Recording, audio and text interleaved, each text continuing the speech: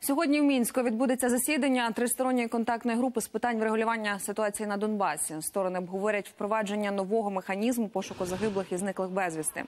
Для цього планують залучити Червоний Хрест, представників України, Росії та окремих районів окупованих територій.